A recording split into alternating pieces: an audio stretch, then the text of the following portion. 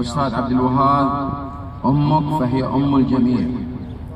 إن أم الأبطال التي تلد الأبطال أمثال الأستاذ عبد الوهاب حسين وأخوته هذا البطل المناضل جئنا هذا اليوم إلى قبر والدة الجميع الذي توفت ضحية بعد اعتقال الأستاذ عبد الوهاب وبعد منعه عن العلاج وبعد ما بلغ حالته الصحية إلى المأساة. هكذا تعود شعب البحرين إلى المناضلين الأبطال سجناء الرأي بالتعذيب النفسي والجسدي.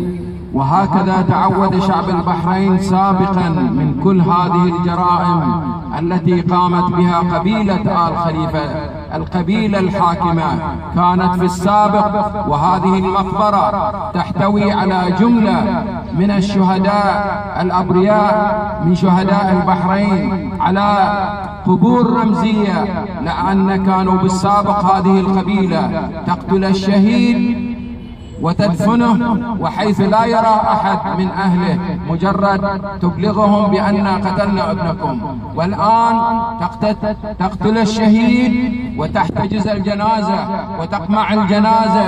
هكذا تعود شعب البحرين من هذه القبيلة الظالمة. ونقول لك يا أم الجميع إن ابنك ونقول لك يا أستاذ البصيرة يا أبو حسين يا نور العين إن أمك فهي في قلوب الجميع.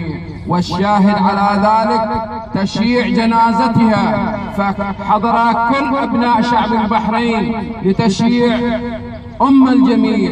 أنت رحمك الله أيها الأم الغالية العزيزة على قلوب الجميع. لن ينساك شعب البحرين ولن ينسى أبنائك. فالأستاذ عبد الوهاب ما زال رمزا صامدا وما زال في قلوب الجميع. وكل شعب البحرين ما زلت يا أستاذ البصيرة نحييك على صمودك وعلى مشوارك الطويل في الجهاد عن أبناء البحرين في حقوقهم المغصوبة من هذه القبيلة الظالمة.